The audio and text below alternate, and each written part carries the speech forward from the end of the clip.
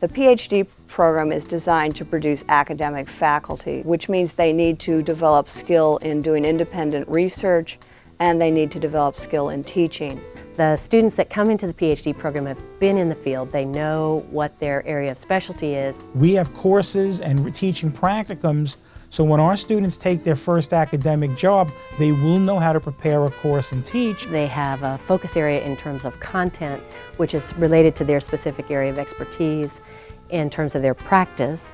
And then they have a teaching uh, practicum in which they learn the principles of effective teaching. In addition to the formal coursework which we have in this program, which entails movement science, uh, education, and research, there is an elective component to the direction they want their research task to go. Each person is paired with a faculty member who becomes a committee advisor for the development of the dissertation and the whole research process. What's so nice about the University of Miami is they have tailored um, their program to meet my needs. There's a lot of faculty-student interaction, a lot of small group process work, a lot of uh, opportunities for the students to have dialogue with the faculty. The faculty is tremendous here. This is why I'm here. What I look for personally in a PhD student is an enthusiasm for research and excited about the possibility of making a difference through the research that they're going to do. Being associated with the uh, University of Miami Medical School, you have access to the equipment there. The facilities here are incredible. We have so much equipment that is available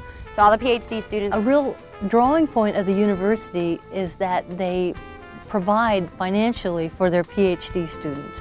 Most of the students who come to the University of Miami PhD program do receive a graduate assistantship or a stipend.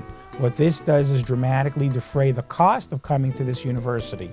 We have other faculty, however, who have uh, PhD students who are funded either through grants or for the first couple of years through a stipend that's provided by the, the physical therapy program even in cases where we haven't had that ability with respect to grant funding, etc., we have had opportunities for the, for the students to be able to earn um, portions of their tuition or all of their tuition. It allows us more time to learn and uh, to perform our research, and that's really what we're here for. The students that have graduated from our program have actually been uh, recruited from other universities prior to even completing their PhDs. So those who want to teach and be high-level researchers, this is the program for them.